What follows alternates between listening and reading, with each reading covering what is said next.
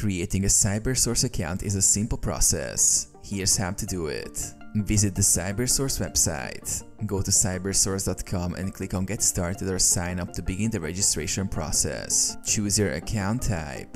Select the account type that fits your business needs. CyberSource offers solutions for small businesses, enterprises, and developers. Choose the option that aligns with your business. Complete the sign up form. You will be asked to provide details about your business, such as the business name, contact information, email, and payment processing needs. Fill out the form accurately. Submit business and banking information. To set up your payment processing, you will need to submit your business's financial information, including your business bank account details. This ensures that funds from transactions can be deposited directly into your account. Verify your email. After signing up, you will receive a verification email. Click the link in the email to verify your account and complete the setup. Access the dashboard.